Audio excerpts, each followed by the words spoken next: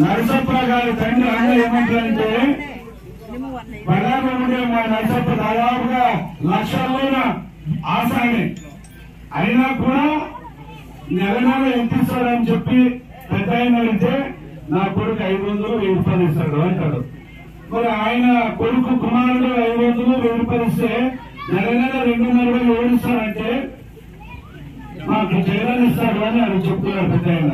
మరి పడాలో ఉండే నరసప్ప కొడుకు ఎక్కువ జగన్ ఎక్కువ అంటే నాకు జగన్ ఎక్కువ అంటున్నారు కాబట్టి అన్న జగన్ కోరేస్తాడని నేను అనుకుంటున్నాను. కోసా జై జగన్!